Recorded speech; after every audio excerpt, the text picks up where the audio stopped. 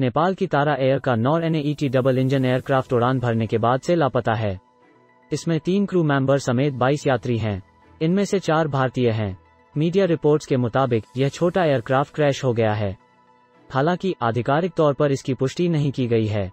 Media reports के मुताबिक aircraft में सवार भारतीयों के नाम अशोक कुमार त्रिपाठी, धनुष त्रिपाठी ऋतिका त्रिपाठी और वैभवी हैं।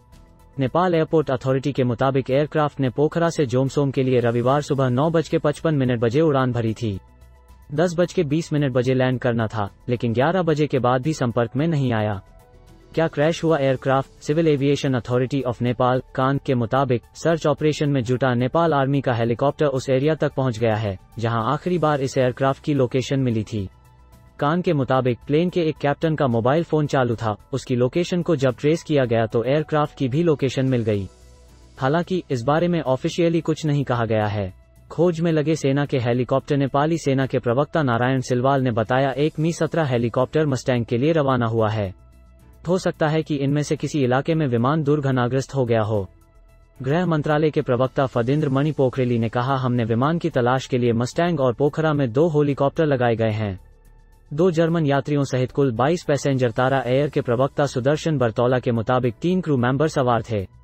यात्रियों में तेरह नेपाली, चार भारतीय और दो जर्मन यात्री भी थे।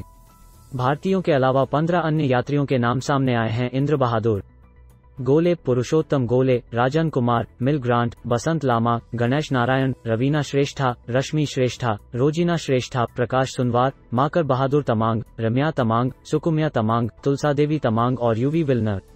पहाड़ों के बीच से उड़ान भरते हैं। प्लेन पुलिस अधिकारी रमेश थापा ने कहा कि ट्विन ओटर प्लेन के बारे में कोई जानकारी नहीं है। इसकी तलाश जारी है।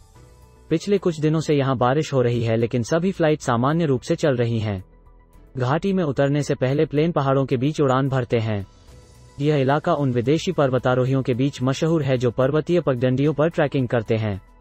इसी रास्ते पर भारतीय और नेपाली तीर्थयात्री मुक्तिनाथ मंदिर की यात्रा भी करते हैं।